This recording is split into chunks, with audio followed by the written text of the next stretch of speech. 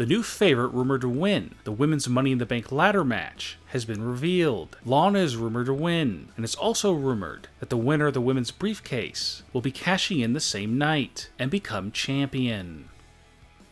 Roman Reigns is rumored to lose his match with Jinder Mahal by disqualification, but WWE will continue the feud until Extreme Rules, where they might have a Punjabi prison match.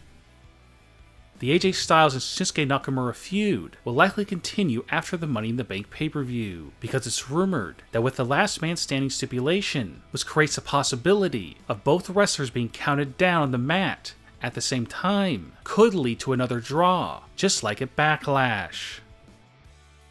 WWE is planning big things for Elias in 2018, and the beginning of his push might start this Sunday, where he is rumored to win the IC Championship from Seth Rollins. And it's also being speculated that Jason Jordan might interfere and cost Seth Rollins the belt.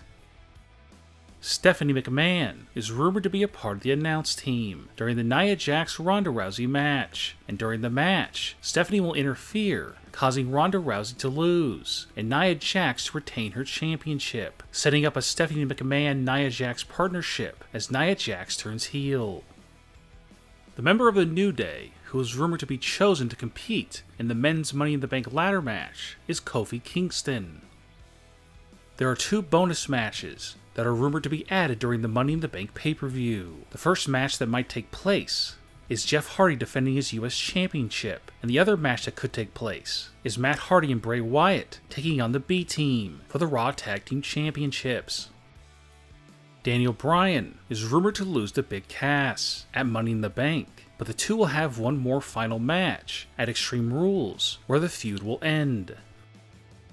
Rumors have been swirling about who will win the men's Money in the Bank ladder match. Most reports have The Miz or Braun Strowman winning, but now in the final days before the match takes place, a new unlikely favorite has emerged that could shock some fans. Bobby Roode. WWE has kept starting and stopping his push over the past year, but now could be the moment that Bobby Roode officially becomes one of the major players in the WWE as he captures the Money in the Bank briefcase and eventually the Universal Championship. The only question is whether Vince McMahon will change his mind and have someone other than Roode win the briefcase.